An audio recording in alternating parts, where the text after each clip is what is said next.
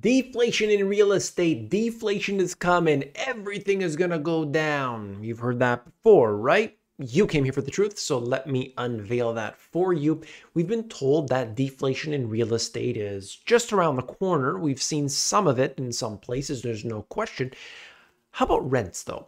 Well, if you look at it back in history, there's only one instance of rents coming down, and it was just a small amount. So, what does that tell us? For the future right here, right now. We're going to cover that. I'm going to tell you what's happening inside of the real estate industry, going from commercial real estate to residential. Obviously, you do know that mortgage rates are still very high, though we have come off the top. Why is this the case? Well, the Federal Reserve, after keeping interest rates super low for super long, decided to increase them in order to stop inflation from getting out of hand. And although it has gotten out of hand, they feel that this is enough and they're not necessarily likely to increase interest rates anymore from this point on. And so for the vast majority of people, they have to deal with the current rate of inflation and then the additional inflation that will be applied each and every year from here and beyond. We've been told there's deflation, but where is it? Let's begin. Here it is. Looking at this, roughly 82% of respondents in a Credit Karma survey conducted uh, by the Harris poll say that the country is grappling with an unprecedented housing affordability crisis. Another three in five who've never bought a home don't think that they will ever be able to do so. The dream of home ownership is long gone, uh, you know, increasing interest rates and mortgage rates and so on. Well, what has happened here, there's no question about this, is that the United States, as well as Canada, UK, and other places, will become, if they're not already, will become renter nations. It doesn't mean everybody's going to rent, but you're going to see a lot of um, real estate that is sort of mixed use, where you have a big, tall condominium on the bottom you have the retail space then you might have you know some offices and so on uh, you know one or two floors in there and then you have a big retail uh, or big residential establishment on top of that and that's generally the way things are moving. You pack them in densely. So you have live work and play all within a very small 15 minute city. How does that sound well, this is what's happening right here and now. It's becoming prohibitively expensive to own a home because if you're going to pay, let's just say $3,000 a month on rent and $3,000 a month on a mortgage, you might say, well, I'd rather own a home. Yes, but you also have to have a million dollars on your down payment or 500,000 on your down payment depending on where you're living. You can't get by on you know what we used to see people would be paying you know a hundred thousand dollars down and i could afford a home. That doesn't happen anymore. You, you can't save right now. If you've got nothing or very little there's no doubt that you can't save up to the point where you can afford a down payment. You can afford first and last month's rent though and so that's what's happening. But there are some beautiful places out there that offer you everything people could want. A big pool, beautiful grounds that are manicured, they've got security, they've got everything. So it's not necessarily a bad thing. Now, at the same time, the younger generation, many of them have said, I don't even want to own a home. I don't want the responsibility. I want to live in a pod. Have you seen those? My goodness. They don't want any of that. And so look, if that's what they want, that's fine. They don't want to own a car. They don't want to be able to drive.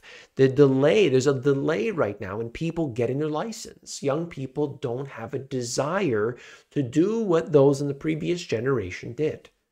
So we can see the change in habit, the change in attitudes that are clearly present. You could blame it on TikTok, you could blame it on anything, but that's what's happening. Okay? So when we know that, that changes the course of the economy. So keep that in mind, okay? Here we have the average fixed mortgage holder in Canada is still only paying 2.5 2.85%. Now, the market rates currently are at 5.35%. And actually in a lot of cases it's more than that, okay? So the problems right now in Canada, this applies to other places, is not even there yet. So what they're saying is, no, you got to cut interest rates. You got to cut them now. You got to get those mortgage rates down. Hurry up, hurry up, hurry up. There's just one problem. It's that if they bring it down, you are going to see additional inflation. And that is, of course, my thesis. Falling rent is extremely rare, and yet economists keep expecting that. That's the wild thing. I mean, I hear this all the time. And it's just unfounded. Why do we keep hearing about falling rent? Why do we keep hearing about falling prices in general of anything, any prices of anything, when you rarely see deflationary events? Rarely.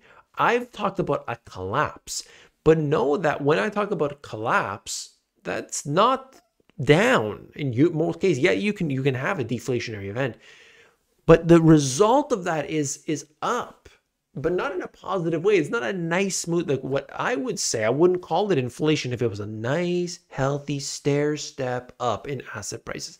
It's not like that. It's crashed down. It's crashed up. It's excessive this is not healthy. That's what you get when you create this central bank policies, and it makes me upset. But I'm gonna keep my calm right here. Okay. Falling rent is extremely rare, right? Look, look at the data. Like this is the chart. This is from Mish Talk, and I I, I want to show you this because housing units completed versus a percentage change in rent.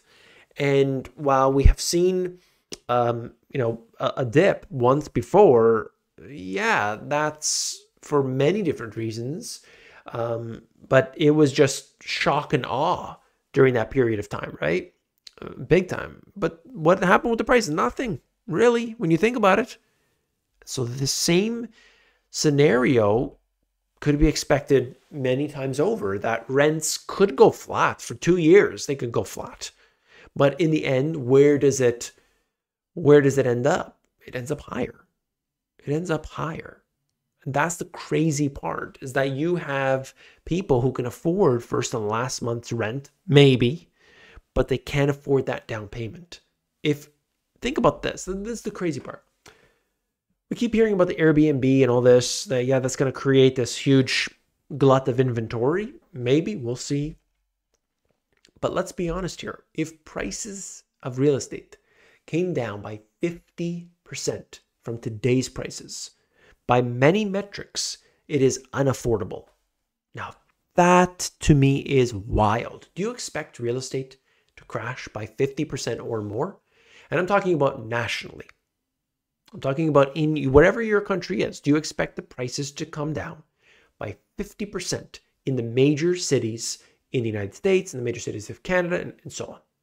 If you do or do not, please put that in the comments below let's see let's let's compare that you're going to look through the comments you're going to compare you're going to comment on those comments we'll thumbs up we'll, we'll all be in this one okay let me know because it would be very unusual historically to see that happen and if it does it's still unaffordable i mean that's the bubble that we are in i'm not saying there's not a bubble it is a huge bubble it's crazy and by the way, yeah, this is just examples of the REIT, real estate investment trust. Both of them are suspending their distributions. Yeah, we can't deal with this right now. We got some problems.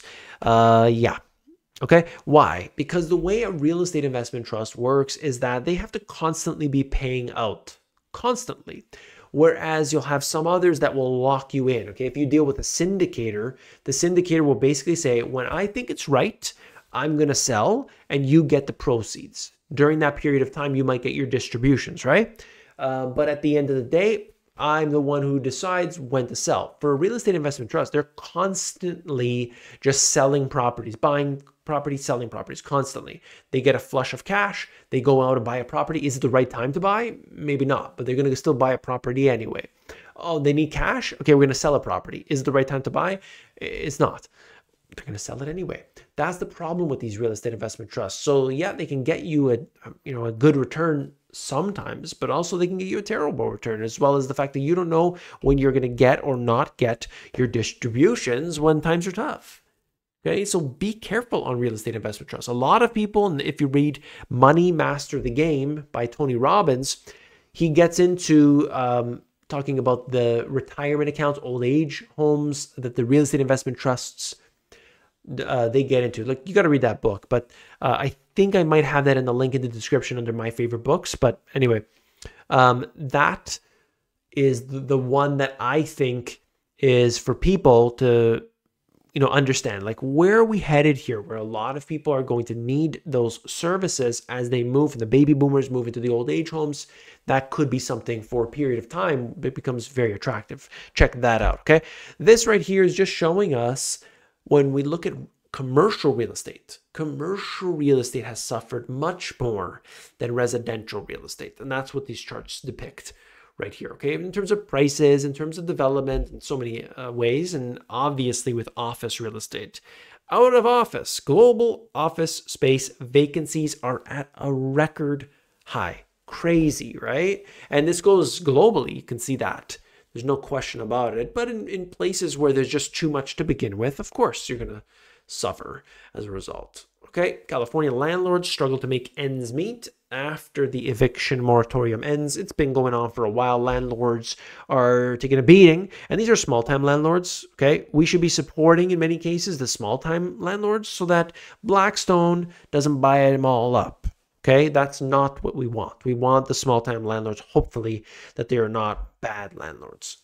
Real estate industry trembles over commissions on home sales, though this is one I've got friends that are real estate agents, and uh, this will hurt if their percentages come down for them. But at the same time, what maybe they want is like, hey, I don't want to be spending a hundred grand on on some commission. I don't want to be spending fifty grand on a commission, uh, you know, for the home when they've done like theirs is a percentage basis, and it gets gets crazy. And of course suddenly you don't want to move because of the closing costs associated with it, right? Okay, look, if you need some assistance, you need a CFP, you need a fiduciary, you need somebody to sit there and help you. Well, that's why I linked up with Money Pickle. Okay, Money Pickle gets you out of that pickle. That's the idea behind the name. And what you got to do is connect with them. You get a free 45 minute call with them where they are told they have to help you. If not, you tell me okay? And i will have a talk with them personally okay? That was the rule that i set up when i uh, agreed to partner with them. I said there cannot be a sales pitch okay? That is not what this call is about. This call is about helping people. They said yes absolutely. So you give me feedback and by the way the feedback i've received so far has all been positive I want you to check this out. Don't procrastinate. Get on there. You click in it. You go make um, a um, an appointment with them right on the page. It's right there. Click the link in the description, and you'll see it for yourself. Now, I want to get to the comment of the day. I love comment of the day every day. I don't know one person who still has their money in the bank. If you do, good luck. And that's the circumstance with a lot of people. They're taking their money out of the banks and they're parking it in other places. And I want to know, are you part of that circumstance dealing with this? You're, you're saying, you know what? I don't trust that bank. I'm going to put it in a money market fund. I'm going to put it in a stock market. Or maybe I'm going to put it under the mattress. What's the case, right? I don't need to know what you're doing. I'm just wondering, are you those people who have said the banks they're not safe. I want to know what you're thinking. If you're uh, around here, still here, hit that thumbs up if you haven't already. When you do so, you are telling the algorithm, hey, check this guy out. So I appreciate when you do that. And of course, tune in tomorrow because I've got some really good information you don't want to miss. Take care. See you then.